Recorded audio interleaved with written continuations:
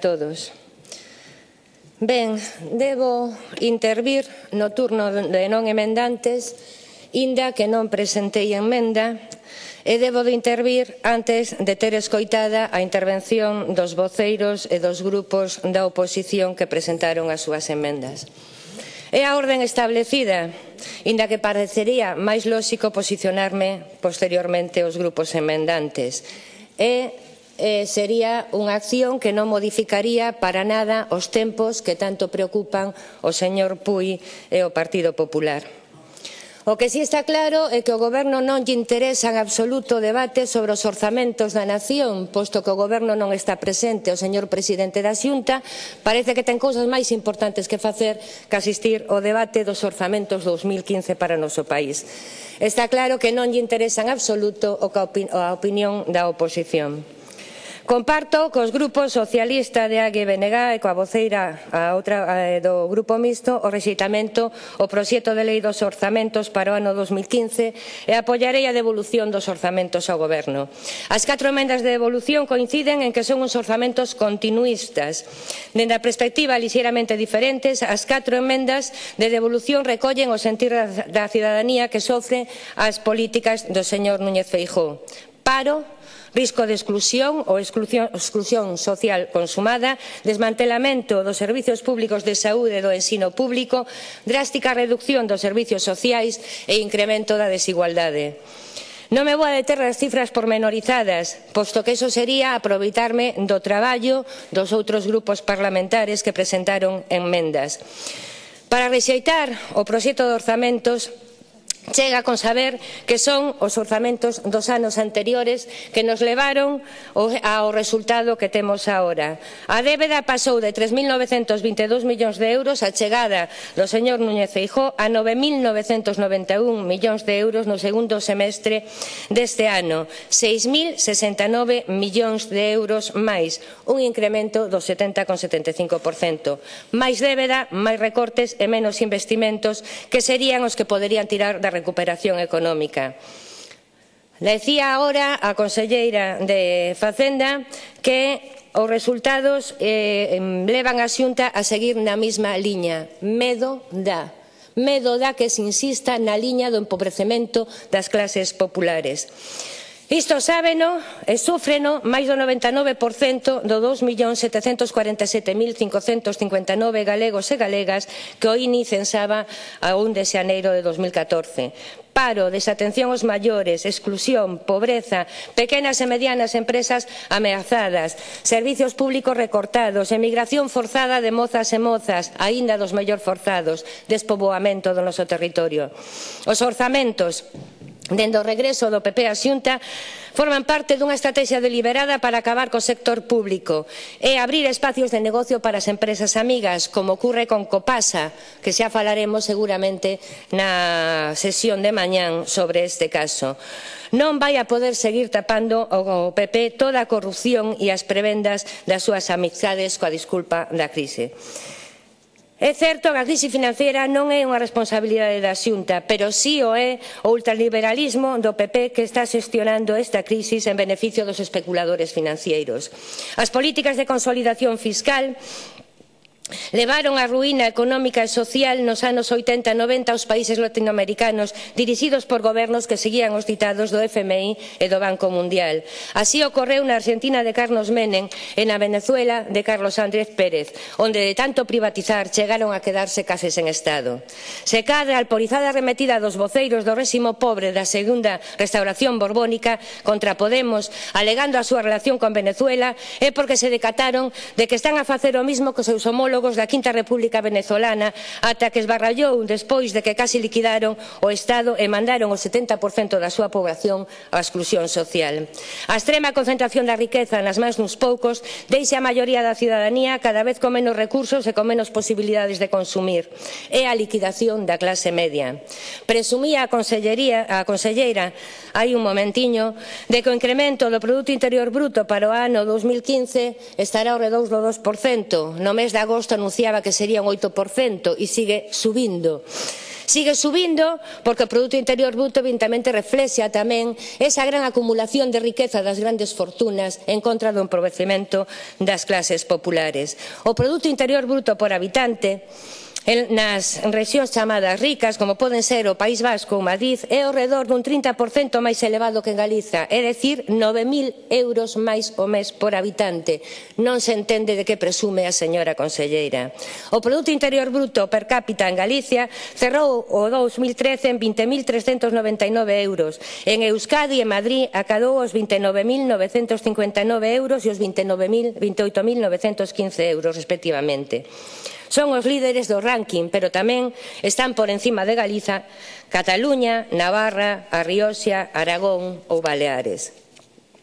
É necesaria unha un política de redistribución da riqueza impoñendo impostos a quen máis ten Mentres que o PP fai totalmente todo o contrario, redistribuindo a riqueza cara arriba, é dicir, quitándolle os que menos teñen para enriquecer os que máis teñen.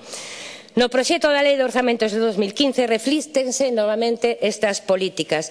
Os recortes en gastos sociais e investimentos que nos levaron dende que se chegou o señor Núñez Feijó a ter cada vez menos recursos e máis débeda. No primeiro trimestre do 2009 había en Galicia 1.161.000 persoas en emprego e cinco anos despois do goberno de Núñez Feijó xa son 297.000. Presumía a conselleira de Facenda de que hai 46.000 desempregados menos que hai dous anos. E lle preguntaría, e cal é a calidade do seu emprego?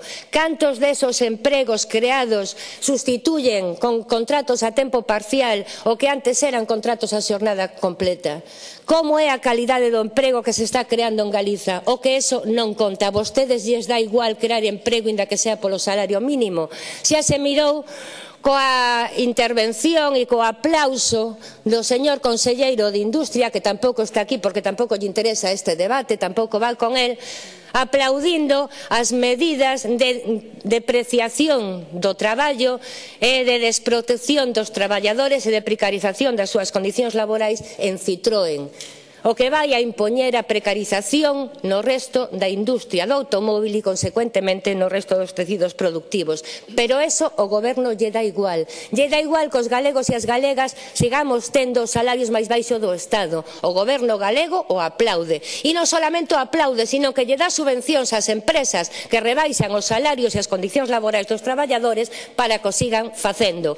E, é máis, aplaude as empresas que lle piden ás empresas galegas e os consumidores galegos galegos que consumamos en países máis baratos hm, que Galicia é cara. É auténticamente un goberno de vergonza, un goberno escandaloso. Pero o que podemos decir é que os orzamentos do señor Núñez Feijóo e do Partido Popular teñen sobre todo contumacia e mentira. Contumacia en recortar Recortaron o investimento e os recursos en políticas sociais e en servicios públicos e sociais como a sanidade e o ensino. Nos falan dunha taxa de reposición do 50% e o aplauden. Sustituyen a mitade do persoal e a outra mitade é persoal que non se vai a sustituir. É dicir, que siguen vostedes cos recortes en plantilla en algo tan importante como a sanidade ou como o ensino. Pero siguen aplaudindo e ademais é que se jactan eh, e presumen de estos recortes. Contumancia en favorecer co trato dun paraíso fiscal as empresas que encoran as aguas nos nosos ríos ou degradan con contaminantes minas o noso territorio. Contumancia en seguir favorecendo as grandes empresas concesionarias, favorecer os seus amigos e beneficiar os prestamistas. Son mentira e non só propaganda estes orzamentos que só se van a executar no que se refire ao pago da débeda. Temos claro que os orzamentos asunta unha cousa é o que pon e outra cousa que acaba cumplindo o final do ano, porque gran parte dos orzamentos non se desenrolan. Pero claro, estamos cerquiña, moi cerquiña xa das eleccións municipais, entón ahora nos dedicamos a prometer prometer centros de saúde e non sei cantas promesas para os concellos, promesas que non se van a cumplir como non se cumpliron todos estos anos. Donde están os 10 millóns de euros que se iban a gastar no dique flotante de Ferrol, por exemplo?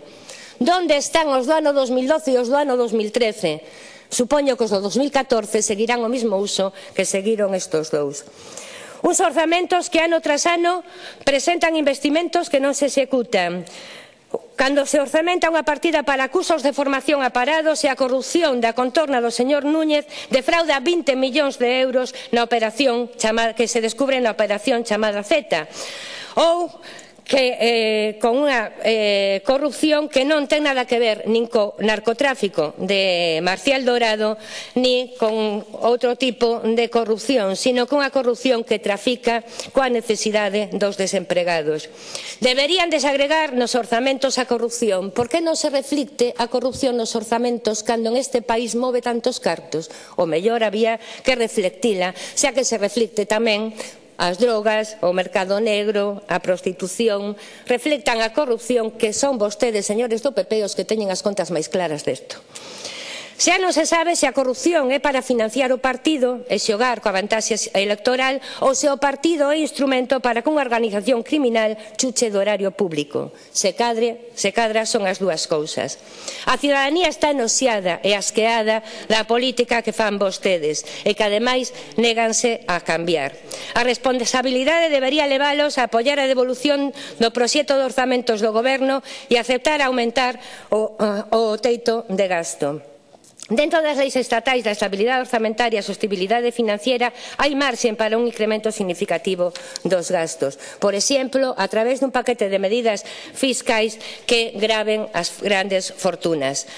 Tampouco van facer o que a decencia política exixe de quen está rodeado de corrupción e converteu o goberno que ia rematar co paro en 45 días no que duplicou o paro dende que chegou.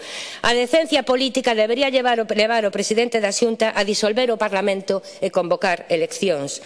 Convoque eleccións, señor, señores do Partido Popular, convoque, se si estuvera aquí o presidente, habría que pedirlle que convoque eleccións. Un partido, rodeado de corrupción no goberno do Estado e no goberno da Xunta de Galicia non é un partido que cree confianza e, polo tanto, debería, polo ben do país, dimitir e someterse a, novamente a eleccións.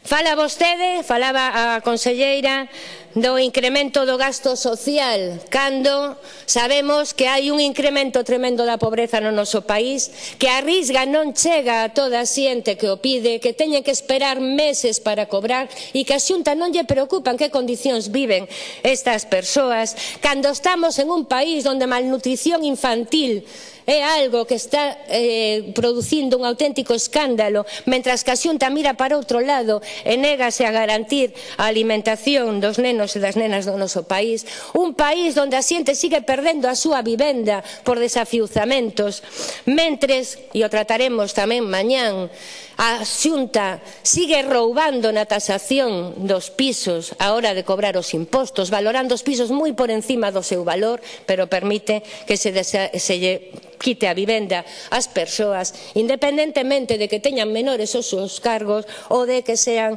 persoas xa anciás. E non digamos das políticas políticas de violencia de xénero, moita teoría, moito discurso, moi pouca política factible e efectiva no tema de violencia de xénero. Como se pode loitar contra a violencia de xénero segregando nenas e nenos e dicíndolle que son distintos e, polo tanto, se si son distintos, as súas responsabilidades, os seus dereitos e os seus deberes son distintos. Cal é a mensaxe que se lle está mandando aos nenos e ás nenas? Falaban vostedes de os, aos programas de emprego para mozos e mozas, programas de emprego precarios, programas de emprego en formación, programas de emprego que non chegan nin a ser milieuristas. Vostedes son os que están promovendo políticas que despiden os pais e as nais para contratar os fillos en condicións máis precarias. Esa é a súa política, seguir precarizando o noso país.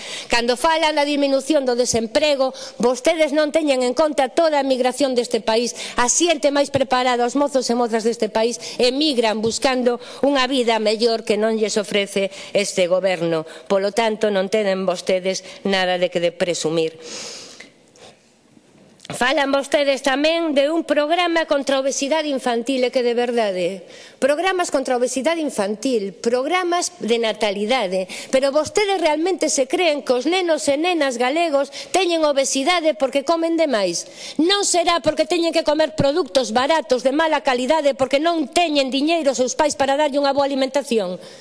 Si queren realmente acabar coa obesidade infantil, o que teñen que facer é mellorar os salarios, crear emprego, eh? e dar formación, e ter unha sanidade onde a atención primaria sea realmente atención primaria, e faga unha política preventiva e de educación sanitaria. Non me mire así, señora conselleira. Están vostedes tirando diñeiro a recortar en, san... en atención primaria. Atención primaria é a garantía de que se poda forrar en atención especializada. Verdade? Eh? Sin embargo, recortamos en atención primaria. Sin, ¿Cómo que no? Siga negando as listas de espera en atención primaria. Outro día dábamos as cifras na Comisión de Sanidade. Vostedes sigan negando a realidade, porque só negando a realidade eh, se pode impedir avanzar e eh, mellorar a situación. Falaban vostedes do ensino, e xa vou rematando. Plazas de FP, vostedes sabe que se quedaron mi, montón, centos de rapaces e rapazas sin plaza en FP, que non hai plazas de FP, por exemplo, na provincia de Pontevedra. Non hai plazas, o sea, a universidade non se pode acceder, evidentemente, entre taxas e o desemprego eh, e a falta de becas non se pode acceder á universidade.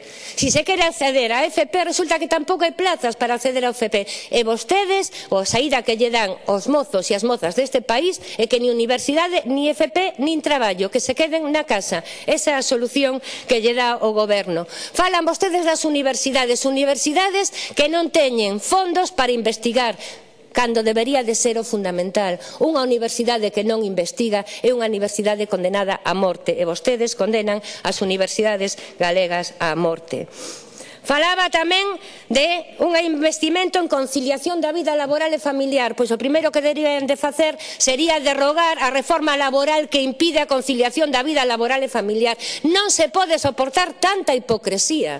Lesislan en contra da conciliación, lle dan ás empresas e a dirección das empresas o poder absoluto para que decidan como hai que conciliar e ahora nos veñen aquí a vender que si hai unha partida para conciliar.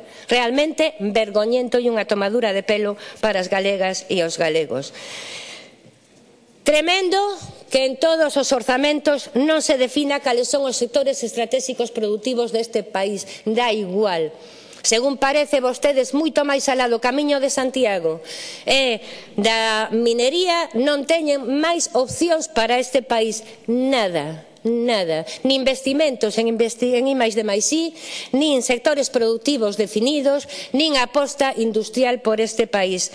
Solamente eh, minería e o camiño de Santiago. Por certo, en turismo o resto do país tampouco existe, pero máis triste é que se o resto do país non existe en turismo, o camiño de Santiago existe para propaganda, cando no fondo o único que hai é o seu abandono total e absoluto, que supón, ademais, un perigo serio de seguridade vial para os peregrinos que veñen ao noso país a facer o camiño.